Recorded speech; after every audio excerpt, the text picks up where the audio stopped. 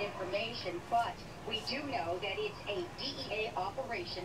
They were serving multiple search warrants in several places mostly at smoke shop. Now, sources tell us that this is spice related. That's the synthetic marijuana that's wreaking havoc throughout Tucson.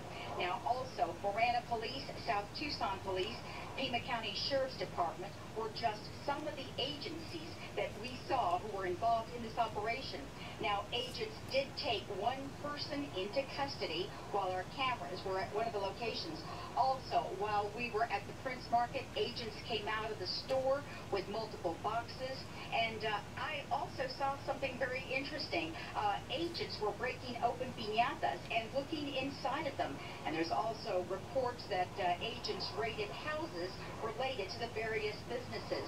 Now, I spoke to uh, some of the people who were who frequent Prince Market here, and uh, they said they were some of them were shocked that uh, police were here. Others say they weren't surprised. Stay with News 4 Tucson for all the information coming up later on in our newscast.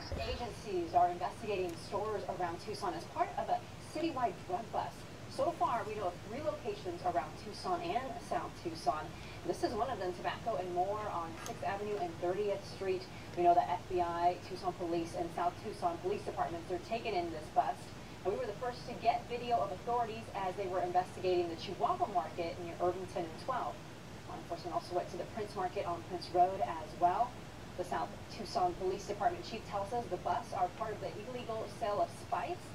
It is a synthetic marijuana that has been blamed for nearly 100 overdose calls in just a three-month time frame in Tucson in 2015. KOLD News 13's Clarissa Planup is looking into this bust and will have the latest coming up at 4.